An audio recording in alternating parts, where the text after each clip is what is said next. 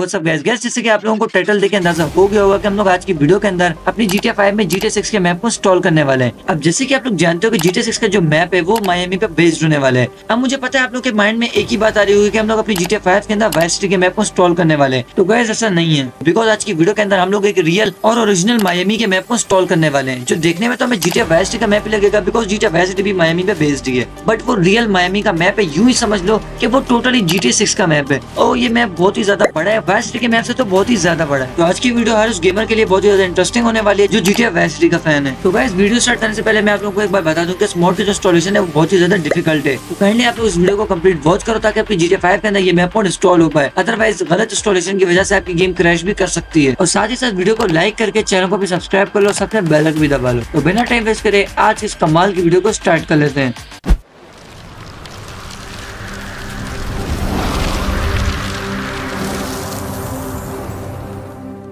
Already गए जब भी हम लोग अपने ब्राउज़र की तरफ़ आ चुके हो, यहाँ पर आप लोगों ने क्या करना है? यहाँ पर आप लोगों ने इस मोड को ऐसे डाउनलोड कर लेना है।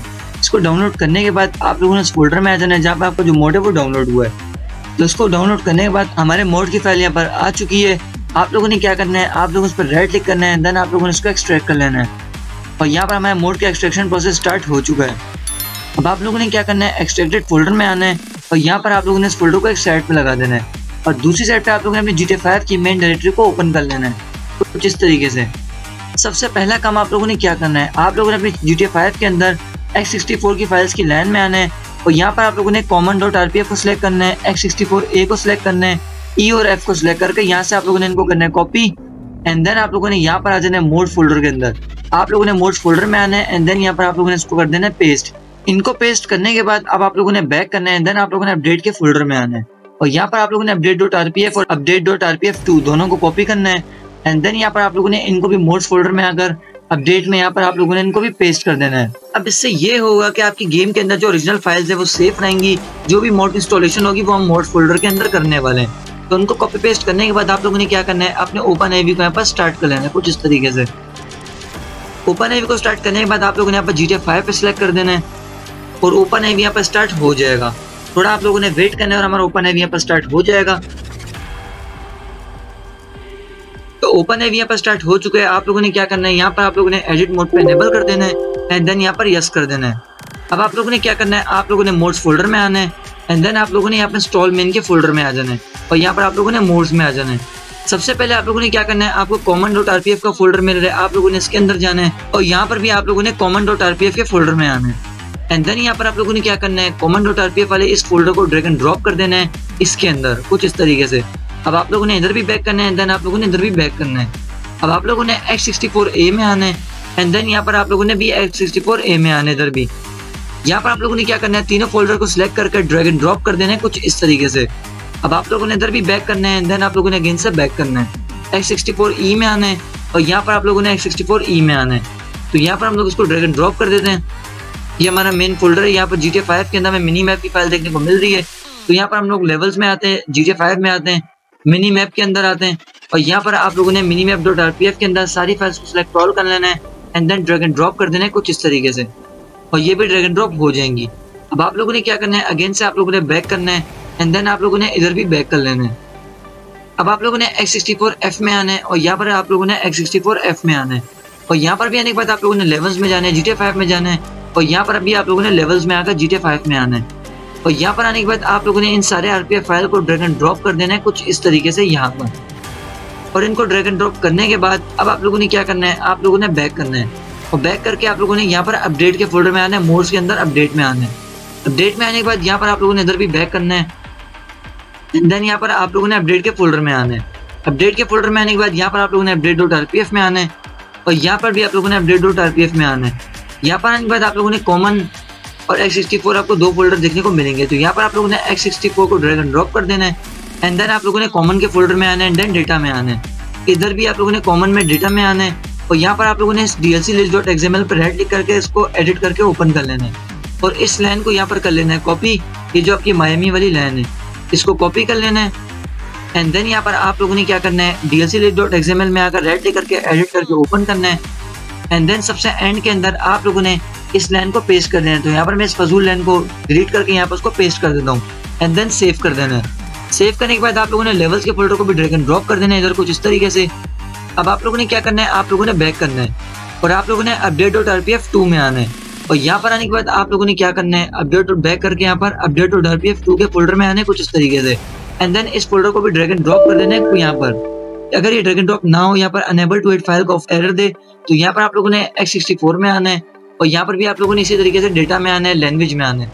और यहाँ पर भी आप लोगों ने डेटा में आकर लैंग्वेज में आना है, और यहाँ पर आप लोगों ने लिखा हुआ है American dot R E L तो यहाँ पर भी आप लोगों ने American underscore R E L में जाना है, और यहाँ पर आप लोगों ने इस वाली फ़ाइल को ड्रैग एंड ड्रॉप कर देना है कुछ इस तरीके से।